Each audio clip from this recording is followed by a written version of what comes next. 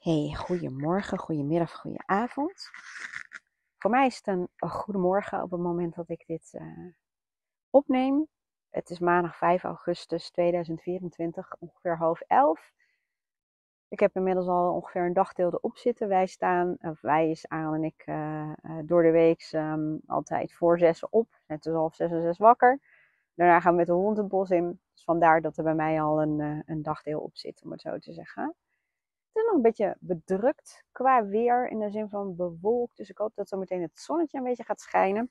En daar gaat deze podcast ook een beetje over. In die zin, misschien herken je het wel, dat je, ja, in principe, als je naar je leven kijkt, dan zeg je, ik heb helemaal niks te klagen. Ik werk alles wat ik wil.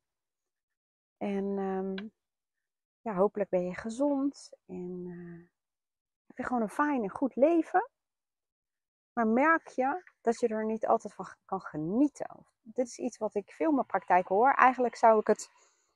Nu gaat het weer bezig met lawaai maken. Maar eigenlijk zou het kunnen opsplitsen in uh, twee um, vraagstukken, deze podcast. Namelijk de vraag: um, hoe kan het nou toch dat ik toch nog wat mis in mijn leven? Of dat ik niet helemaal gelukkig ben terwijl ik wel alles heb wat ik wil? En vaak is dat het ontbreken van een innerlijk vuurtje voor iets waar je voor kan gaan en uh, staan. Uh, dat kan ook zijn dat het, uh, tenminste dat komt veel voor mijn praktijk, een gemis is aan diepere connectie met jezelf en mensen om je heen. Dat klinkt een beetje vaag, maar daar heb ik een andere podcast wel over. Maar deze podcast gaat over iets wat in het verlengde lijkt te liggen, maar toch niet helemaal is. En dat is namelijk dat je ja, kijkt naar je leven of je realiseert, ik heb het gewoon goed. Ik heb een goed leven. Maar ik kan niet gelukkig zijn. Niet voldoende. Niet zoals ik dat zou willen. Het is net alsof ik mezelf tegenhoud om ervan te genieten. Of dat je merkt dat je misschien um, wat meer somber bent dan dat je zou willen. Of dat je een soort rem erop zet. Of dat je niet ten volle kunt genieten. Ik ga even in op dat tweede deel. Dus op dat um, niet volledig kunnen genieten. En um, ik filosofeerde even over op basis van verschillende invalshoeken en methodieken. Die heb ik overigens voor je verzameld in een uh, mini-cursus, de drempel. Ga je naar wendyborst.nl slash drempel voor een laagdrempelige prijs, kan ik ook absoluut zeggen. Waarbij je ook voor jezelf onderzoekt, wat is dat wat je tegenhoudt? En dat tegenhouden kan hem zitten in dat je aan het uitstellen bent, of dat je um, uh, niet doet wat je eigenlijk zou moeten doen, of dat je niet de acties neemt die je eigenlijk zou moeten nemen. Maar die kan ook gaan over jezelf tegenhouden in gevoel. Dat je niet volledig kunt genieten van het leven. Nou, in de drempel kun je daar dus meer over leren. wendyborst.nl slash drempel. En ik ga je hier een aantal invalshoeken um, uh, ja, met je delen. Namelijk, als je bij jezelf merkt dat je bijvoorbeeld wat zorgen maakt of wat somberder bent. En dat je baalt van, verdorie, ik geniet niet ten volle. Of dat nou is van een um, moment, misschien met je gezin, familie of vrienden. Of iets waar je naar uit had gekeken. Iets wat voor jou het leven de moeite waard uh, maakt. Of misschien heb je voor jezelf vrijheid in je leven gecreëerd, zoals ik dat um, heb. En daar zit ook mijn linkje, zal ik zo meteen vertellen.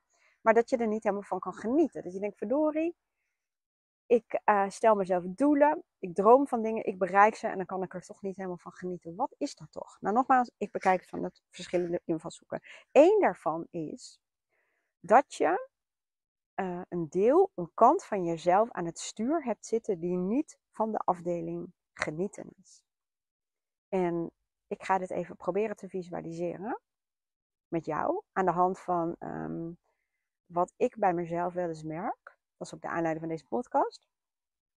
Jaren geleden uh, droomde ik van een leven waarin ik uh, vanuit huis of vanuit waar ik ook zou willen, mijn werk zou kunnen doen, waar ik me goed bij voel, waar ik van betekenis was voor andere mensen, waar ik energie van kreeg en wat echt als een hobby voelde. Nou, dat leven heb ik gecreëerd. Um, we droomden ook van een huis in het bos, in de natuur. Um, nou, en dat is allemaal zo. En toch merkte ik vanmorgen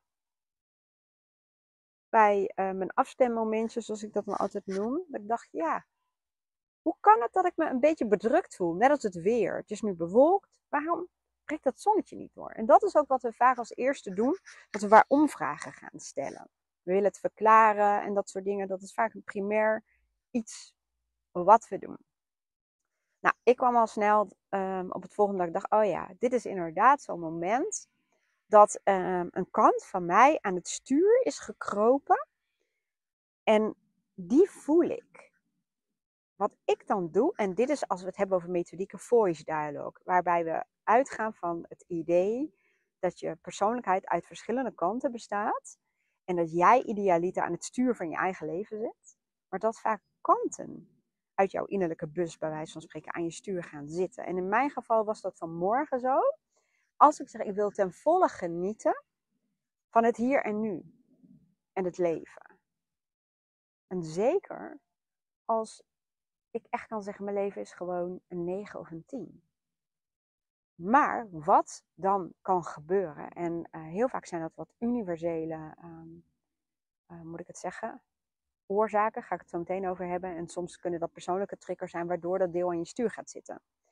Het kan namelijk te maken hebben met um, overtuigingen of zelfs bijgeloof of beperkingen die je hebt in je geloof. Dat een deel aan je stuur gaat zitten. En um, ik weet niet of je uh, Gay Hendricks kent van het boek The Big Leap. Die heeft het over je upper limit problems. Dat betekent vaak, hij zegt als je in een bepaalde zone zit, hij noemt dat de zone of excellence, en je tikt tegen het plafond en dat je naar je zone of genius kan gaan, waarin um, de meeste van je dagen zoveel voldoening geven, omdat je doet waar je van houdt, met de mensen met wie je dat graag doet, en ook nog van betekenis bent. Even heel plat gezegd, eigenlijk uh, komen heel veel dingen uh, samen. Dan um, ja, ben je eigenlijk op je gelukkigst, om het zo te zeggen. Zou je zo kunnen zeggen. Misschien is dat een beetje een, beetje vaag woord. Um, maar dat vergt ook dat je daarin gelooft. En dat je dat ook toestaat. Want de meeste mensen zeggen nee, je moet gewoon tevreden zijn. Of niet de meeste mensen, maar praktijk helemaal niet. Dat zouden ze helemaal niet bij me komen. Maar dat is toch wel een beetje Nederlands. Je moet tevreden zijn. En het kan niet altijd goed zijn. En je moet realistisch zijn. Ehm, we lopen vaak tegen onze eigen beperkingen aan. En niet beperkingen in de zin van dat we niet kunnen, maar tegen onze beperkende overtuigingen en vooral ons voorstellingsvermogen. Dus een reden kan zijn dat je dit gevoel hebt, omdat um, je als het ware jezelf een beetje saboteert. Omdat er een stukje ongeloof is, um, je voorstellingsvermogen is wat te beperkt en er zitten wat overtuigingen. En dat kan dus zijn dat zo'n deel aan je stuur gaat zitten. Ik hoop dat je me nog kunt volgen. Ik ga het zo meteen nog wat concretiseren. Ik zoek dat uit, dus allereerst met behulp van voice dialogue. Dus ik ga kijken, oké, ehm, ik voel dus nu bepaalde emoties. Ik zou, als je er te lang in blijft zitten, de stemming kunnen noemen. Maar ik merk dat het me in de weg staat om ten volle te genieten. Wat ik dan doe, ik ga met behulp van uh, een bepaalde techniek, die heb ik ook in mijn online cursus uh, staan als je daar interesse in hebt. Ga ik onderzoeken. Maar wat is het mechanisme en wat is de functie van deze kant dat die aan mijn stuurs gaan zitten? Wat wil die me vertellen als die een stem zou hebben? Als ik hem een stem zou geven? Want hij zit niet voor niets aan mijn stuur. Vaak is het ook een beschermingsmechanisme. Waar tegen wil dit deel mij beschermen? Waarvoor wil die mij behoeden? Als je dat onderzoekt, dan probeer je dus niet jezelf je overheen te trekken of jezelf af te leiden of um, ja, te negeren of uh, te overwinnen of wat dan ook. Maar je neemt deze emoties serieus. Je gaat er dus ook vanuit dat emoties en gevoelens um, bepaalde functies hebben, bepaalde boodschappen waar je naar moet luisteren. Je moet helemaal niks, maar als je daarnaar leert te luisteren, dan snap je waar dit over gaat en waar jij voor kan zorgen. Want het heeft een boodschap waar jij mee kan doen. En als je dat niet doet, ga je op die automatische piloot. Um, dan neem je dus niet de regie. En dan blijft het ook vaak hangen. Omdat je niet goed luistert naar wat het je werkelijk wil vertellen. Dus ik doe vaak voice dialogue. En op het moment dat ik daarnaar geluisterd heb, dat creëert meteen ruimte om mezelf weer het stuur, aan handen te, of het stuur in handen te nemen. En vervolgens te kijken, oké, als mijn verlangen is om ten volle te genieten, welke andere delen of kanten in mijn bus, bij wijze van spreken, kunnen me hierbij helpen? Welke zullen me beter dienen? En dat kan van alles zijn. Het kan vertrouwen zijn. Dat kan zelfvertrouwen zijn. Dat kan een levensgenieter zijn. Dat kan je innerlijke speelse kind zijn. Ehm, dat het kan zijn dat je nog tegen bepaalde normen van jezelf aanloopt. Dat je ehm, het niet verdient. Of dat je eerst van alles moet doen om het te mogen verdienen. Ehm, en heel vaak, en dat onderzoek je ook met de drempel, zitten er echt dieper liggende aannames en angsten onder. Echt, en die gaan heel erg ook over um, je overtuigingen. Dat je iets moet verdienen. Of dat je um, iets gaat verliezen. Of mensen gaat verliezen als je dit doet. Klinkt misschien een beetje vaag, maar uh, daar zit het er meestal in. In uh, onbewuste, op dit moment nog onbewuste angsten en overtuigingen die jou tegenhouden om in dit geval waar ik het over heb ten volle te genieten. En die lijken, als, je het, um, als ik het nu hardop zou zeggen, ja, super uh, irrationeel. Dat je denkt, ja, maar dat is toch helemaal niet zo. Um, het is toch helemaal niet zo dat als jij ten volle van het leven geniet, dat je daardoor mensen verliest. Nee, maar diep van binnen kan dat wel een angst zijn. En ook um, ja, dat je bang bent dat je uh, ja, mensen verliest of iets van jezelf verliest of alleen komt te staan. Um, en daardoor sta je jezelf niet toe, bij wijze van spreken, om te genieten. Ik zou, ik bekijk dit uh, vanuit uh, verschillende invalshoeken. Maar ik denk dat ik de meeste eigenlijk al wel een beetje gepakt heb. Want ik wilde het ook hebben over die um, innerlijke onbewuste sabotagesystemen. Hè, wat gelinkt is aan het boek van The Big Leap van Gay Hendricks.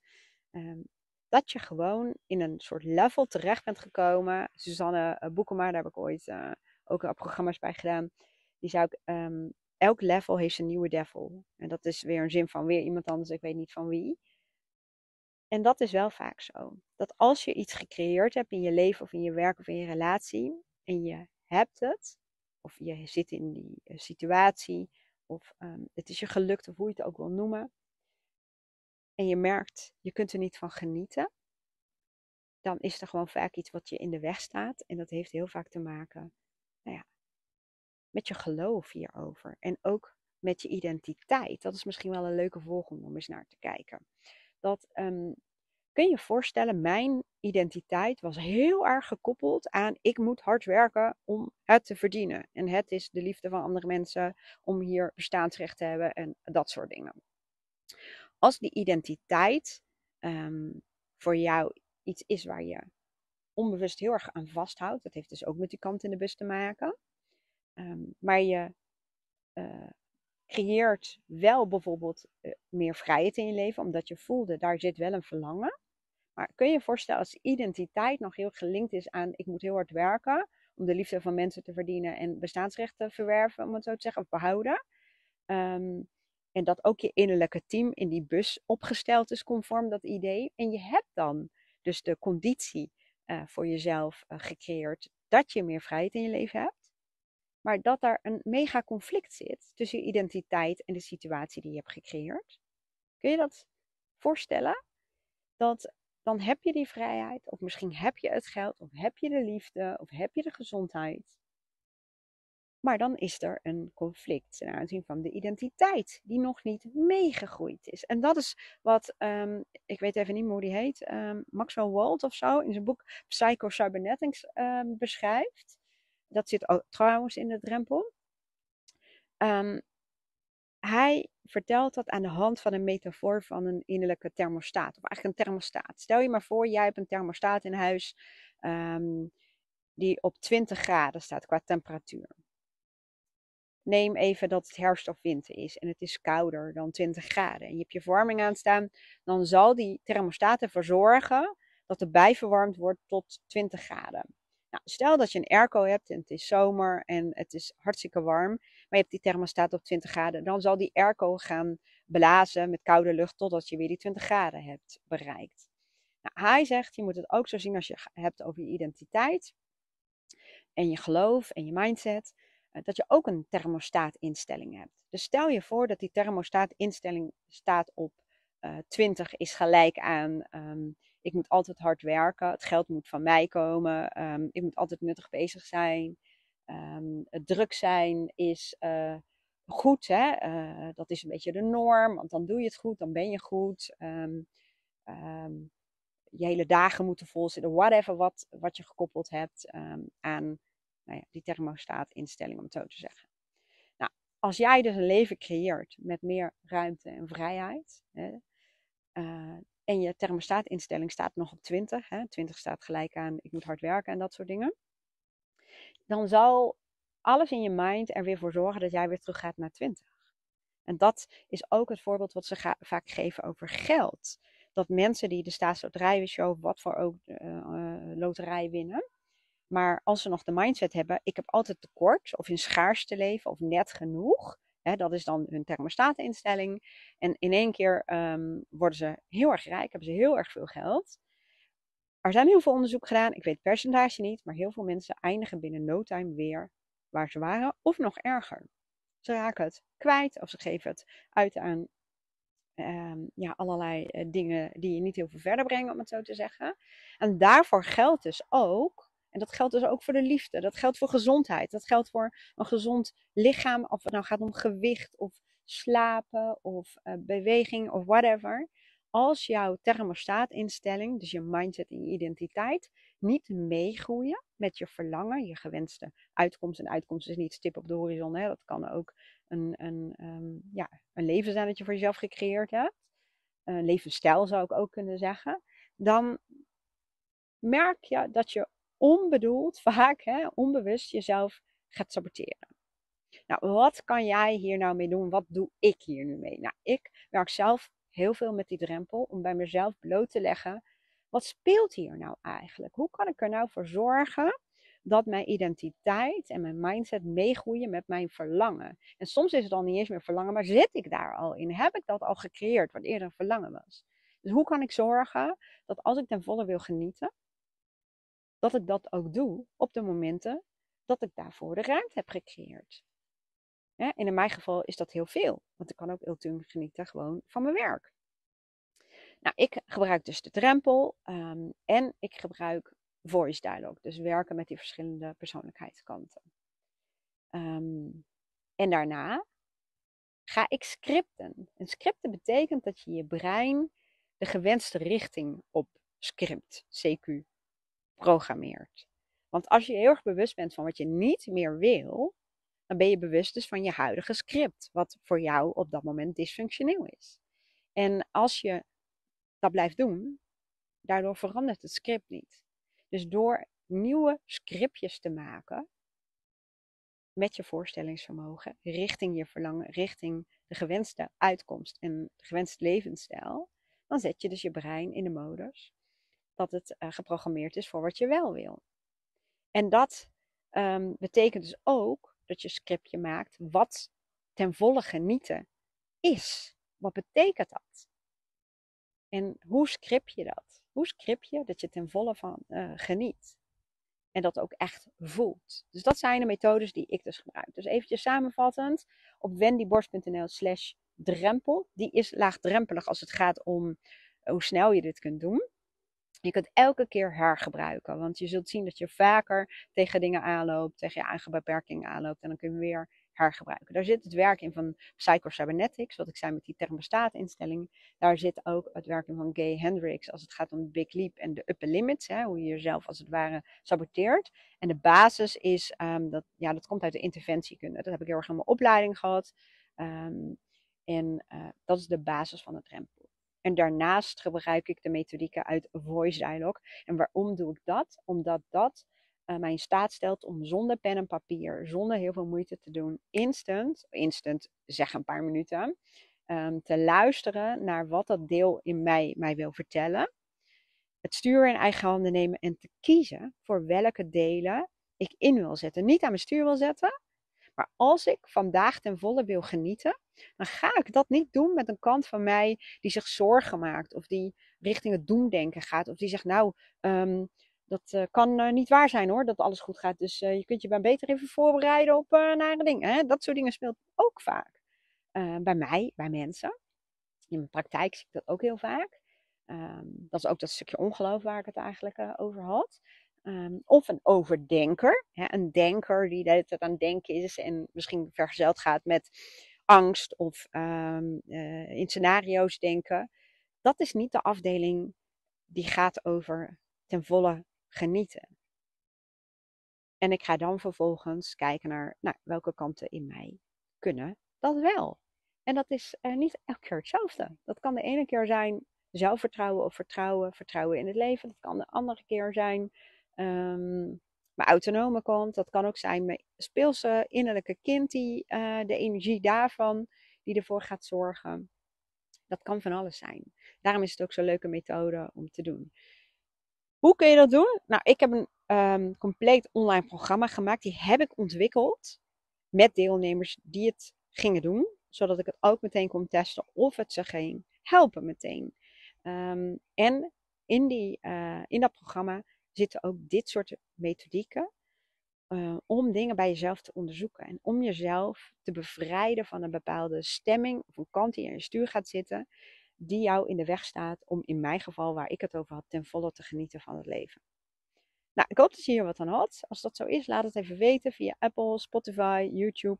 Vergeet je niet te abonneren op mijn uh, YouTube-kanaal of Apple, Spotify. En vergeet ook niet een beoordeling achter te laten. Dat helpt mij heel erg om inzicht te krijgen um, nou ja, wat mijn podcast voor jou doet, waar ik verder mee moet gaan. En misschien ook waar, uh, waar je helemaal niets aan hebt. Dat kun je natuurlijk ook gewoon met me delen.